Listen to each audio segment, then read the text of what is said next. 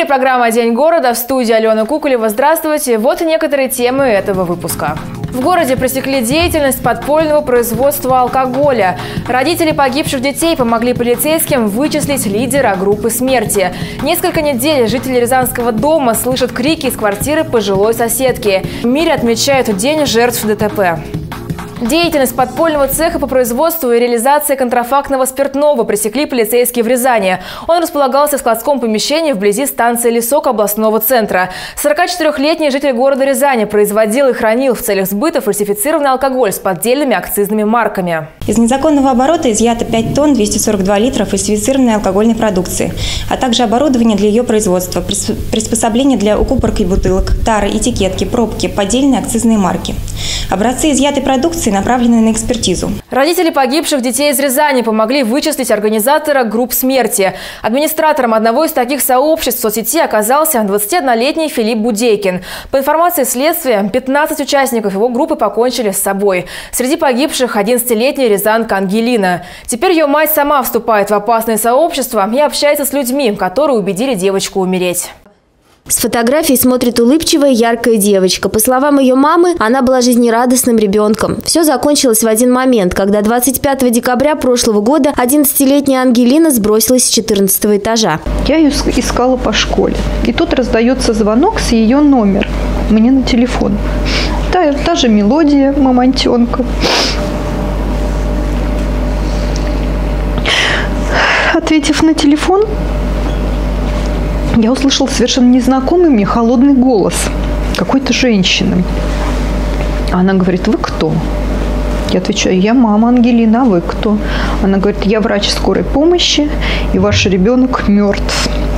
Такое сказать просто невыносимо. Это этот день изменил жизнь Елены. Она открыла страницу дочери и с ужасом обнаружила, что Ангелина состояла в огромном количестве сообществ, пропагандирующих самоубийство. И обнаружила переписки, которые вела ее дочь в течение 50 дней. Весь этот период девочку целенаправленно и методично подводили к так называемому «судному дню». Доступ ко всем группам смерти был строго ограничен и согласовывался администратором сообществ. Новоиспеченные участники должны были пройти различные тесты, по мере выполнения которых прогрессировал рейтинг рейтинг открывался доступ к новым возможностям, контенту и заданиям, связанным с тематикой смерти, суицида, причинением себе физических увечий. В подтверждение своих успехов ребята направляли администраторам группы, пользующимся непререкаемым авторитетом, рисунки, тексты, фотографии порезов. Елена создала фейковую страницу и вступила в активную переписку с администраторами и другими участниками от лица подростка. Она наряду с остальными выполняла все задания и дошла до самого последнего, предваряющего так называемое выпиливание. Женщине прислали адрес дома, подобранного для ее самоубийства. Она сфотографировала его и отправила администраторам. Все, что удалось выяснить Елене, легло в основу работы общественной организации, созданной по инициативе Сергея Пестова. Он потерял дочь, попавшую под влияние групп смерти 9 января этого года. И с тех пор считает своим долгом предотвратить как можно больше подобных случаев. Изучая контакты, изучая манеры поведения, значит, э, изучая рисунки и прочее, мы сделали общий анализ. Это был первый анализ, который был проведен на значит, наших детях. Дальше мы стали углубляться, исследовать, э, что неужели эта проблема имеет место. Оказалось, что действительно мы получили полное подтверждение. К февралю месяцу мы имели порядка 130 случаев, которые мы, соответственно, передали э, в органы следственные. Когда мы уезжали, у нас еще дома было подготовлено, общая была масса где-то 226 детей. Пока активным родителям удалось предотвратить пять самоубийств по всей стране. На этом они не останавливаются. Все как один заявляют, необходима тщательная работа правоохранительных органов. На протяжении нескольких последних лет общество столкнулось с совершенно новой и страшной проблемой. Это суициды детей. К сожалению, ни общество, ни правоохранительные органы, ни надзорные ведомства оказались к этой проблеме не готовы. Начиная с 2012 года по настоящее время происходят суициды детей под влиянием некоторых пока, будем говорить, неустановленных лиц из, э, путем через э, социальные сети. На настоящий момент большинство групп заблокировано, а в социальной сети появился новый хэштег «Свободу Лису» и петиция, которую подростки призывают друг друга подписывать. Петиция требует освободить предполагаемого ангела смерти. Сегодня во всем мире отмечается День памяти жертв ДТП. Ежегодно на дорогах гибнут десятки тысяч человек. В России, к сожалению, среди лидеров по этому показателю. Основная причина – пренебрежение правилами дорожного движения. Причем как водителями, так и пешеходами.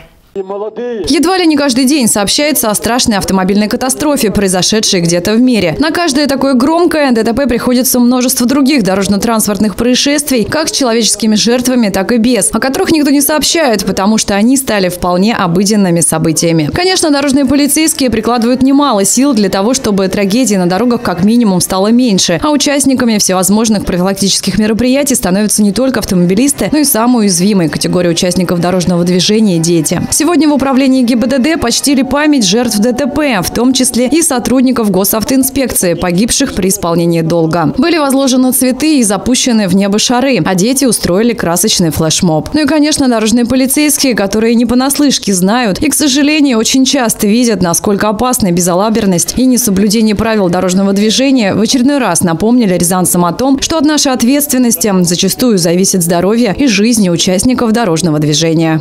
Жизнь – это бесценный дар, который дается человеку однажды и навсегда.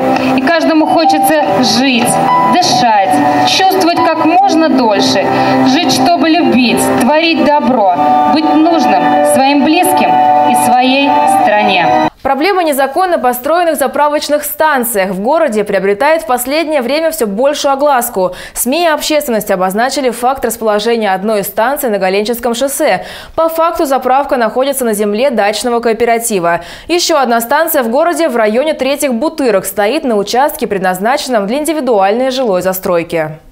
Утро начинается не с кофе, а с запаха бензина. Так живут некоторые рязанцы. Заправка на Галенчинском шоссе расположена вблизи жилых домов и дачных участков. А не дай бог какая-то вот ситуация, не дай бог какой-то взрыв, сами понимаете, какие будут последствия. Потом вот эти вечные запахи, э, поры, а летом что здесь будет? Как это будет все пахнуть? АЗС действует с июля текущего года, но только в августе начал решаться вопрос о законности возведения постройки. Еще летом в СМИ появилась информация о том, что заправка построена на земле садоводческого товарищества «Садовод-1». В этой зоне возможно построить дачу, ухаживать за огородом, но место не предназначено для автозаправок. Жилая зона. Здесь дома, многоквартирные дома, дачные участки. И вообще насколько мне известно, по документации э, от заправочного комплекса до э, там дачных э, или каких-то вот жилых построек должно быть 50 метров. Посмотрите, вот. Вот жилой дом, ну, дачный поселок, дачный участок. Где здесь 50 метров? Здесь нет 50 метров. За забором уже дача начинается, их огород там, а тут вот заправка завели. Тем более, как возмутительно, что незаконно совсем.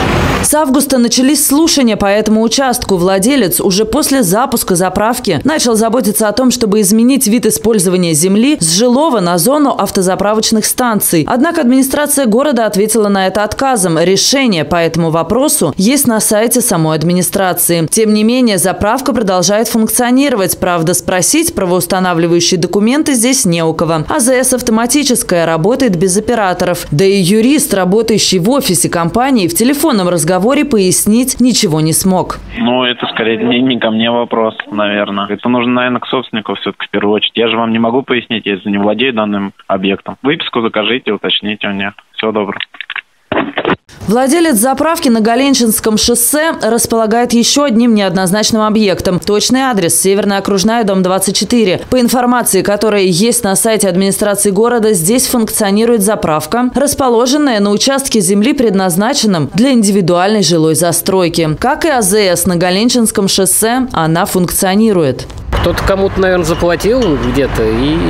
а может, просто даже не заплатил взяли, как построили, ну, неправильно. Согласовывать должно быть с администрацией, это же не людям решать там, как бы, простым, кто здесь живет. Если администрация как бы дала добро, то, а тут же никакого разрешения нету. Напрашивается вопрос, как могут функционировать заправки, земля под которыми не предназначена для АЗС, и по каким причинам собственник сначала строит их, вводит в эксплуатацию, а потом уже делает запросы о смене назначения земельного участка. Скорее всего, все должно быть наоборот. Стоит сказать, что следующие слушания по поводу обеих заправок назначены на 21 ноября. Они вновь пройдут в администрации города. Возможно, назначение земельных участков вновь не поменяется, а заправки продолжат продолжит функционировать. Но что же остается делать тем рязанцам, которые живут в непосредственной близости от АЗС, как на пороховой бочке? Жильцы дома улицы Полевой обратились в редакцию телекомпании. Они рассказали о том, что из одной из квартир постоянно доносятся крики с призывом о помощи. По словам людей, пожилую женщину заперти удерживает ее родственница уже больше недели. Соседи неоднократно вызывали скорую помощь и полицию, но ситуация не изменилась. В подробностях разбирался Артем Бухвалов. Как помочь больной престарелой женщине? Этим вопросом уже не первый месяц задаются жители дома номер 4 по улице Полевая. Практически каждый день соседи слышат крики из квартиры 99, которые мешают и пугают жителей подъезда. Полицию я вызываю постоянно, потому что у меня трое детей, в том числе грудной ребенок. Эти крики, ребенок напуган, плачет, не спит, ничего. Она вот все утро стучит палкой по двери, просит, чтобы ей помогли, открыли дверь. Соседка пояснила, что бабушка кричит, просит помощь. Также она пояснила, что за ней ухаживает племянница, зовут Валя. Фамилию она не знает. В этот раз соседи вызвали полицию. Хозяйка квартиры Татьяна Семеновна громко кричала и просила позвонить своей родственнице Валентине Александровне. Из разговора выяснилось, что в квартире ее заперла племянница, которая ухаживает за больной женщиной. От помощи полицейских хозяйка квартиры отказалась и запретила вскрывать дверь дошло до того, что она, а тогда она еще э, сама себя могла обслуживать. Дошло до того, что она уже ходила, попрошайничала по подъезду, говорила, что дайте мне поесть. Как нам пояснили полицейские, вскрывать двери они могут только по судебному предписанию или при отработке оперативных действий в случае совершения преступления в квартире. Ну дверь будете ломать дверь или нет? Придет, отказывайте, Ну, значит, помощи вы не нуждаетесь срочно. По словам племянницы, Татьяна Семеновна больна сахарным диабетом и имеет психологическое расстройство, то есть может заговариваться, путать имена и вести себя не совсем адекватно. Однако поместить ее в соответствующее заведение родственникам запрещено. Подавала в суд в этом году в летний период, э, но из суда мне прислали документы назад и э, выписку о том, что я племянница не являюсь близкой родственницей, поэтому не имею права решать подобные вопросы. С другой стороны, можно понять жителей подъезда, которые периодически слышат крики своей соседки. Мы очень устали. Я тоже инвалид первой группы, и э, здоровья никакого. И не сплю ни ночами, но она потому что кричит э, ну, и ночью, и днем. Племянница, в свою очередь, не отказывается от своих обязательств и делает все возможное. Два раза в неделю я приезжаю, я все ей оставляю. Я как вот могу, так и ухаживаю. И теперь остается только надеяться на то, что жители подъезда найдут решение из этой непростой ситуации. Вчера в Рязани сыграла концерт легендарная группа ДДТ. Лучшие песни самых знаковых альбомов коллектива с момента основания до наших дней. Музыканты впервые объединили в одну программу. Марина Комиссарова услышала знаменитые композиции и расскажет об атмосфере музыкального праздника. Ваши сны откровения,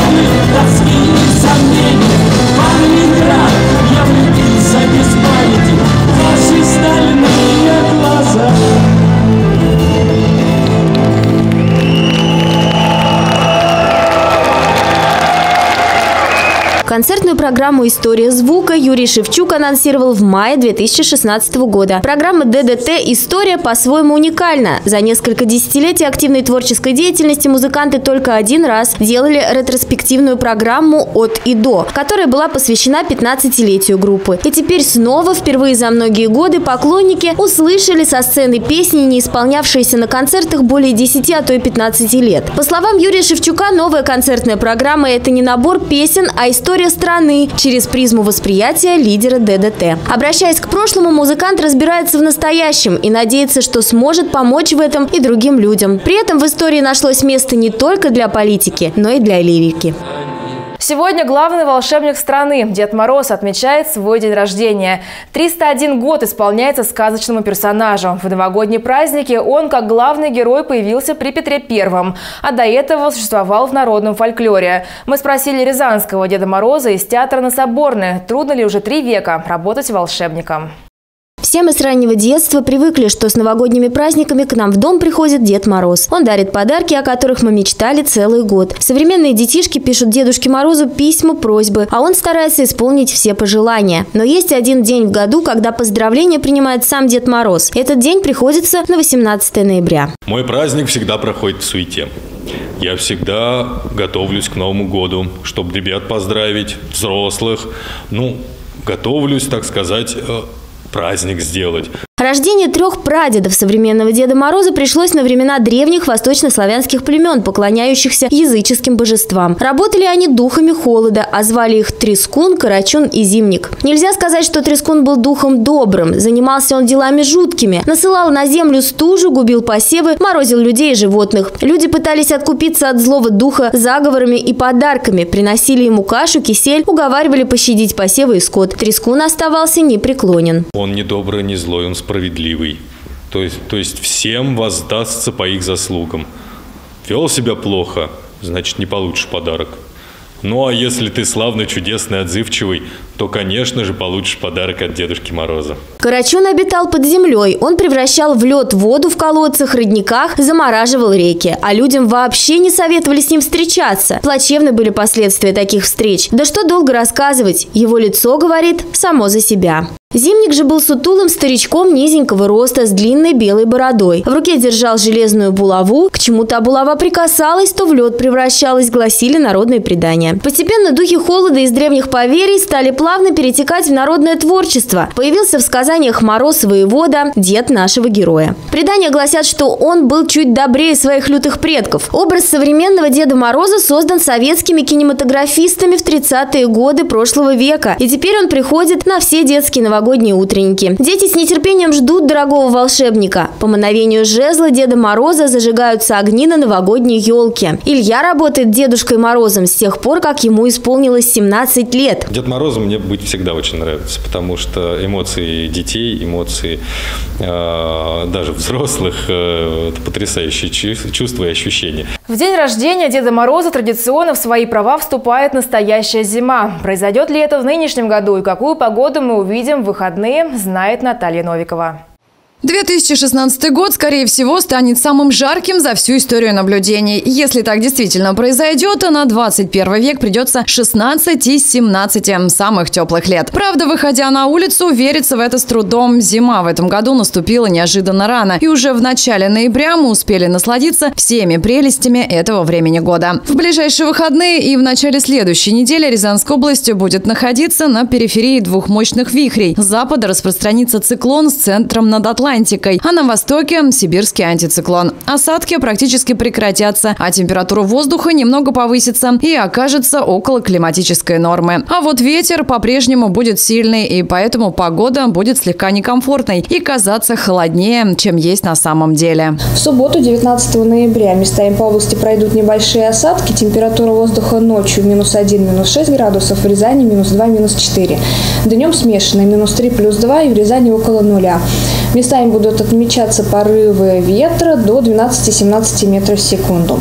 В воскресенье 20 ноября ожидается без существенных осадков. Столбик термометра покажет ночью по области 0-5, в Рязани минус 1, минус 3 градусов, днем около нуля и также сохранятся порывы ветра. В начале следующей недели ожидается погода без осадков. Ночью минус 2, минус 7, днем от минус 4 до плюс 1 градуса. Ветер временами по-прежнему будет порывистым, а на дорогах местами сохранится гололедица. В общем, традиционно в это время года одевайтесь теплее и будьте аккуратнее на дорогах. На этом все. Завтра подведем итоги этой недели, а пока хорошего продолжения вечера.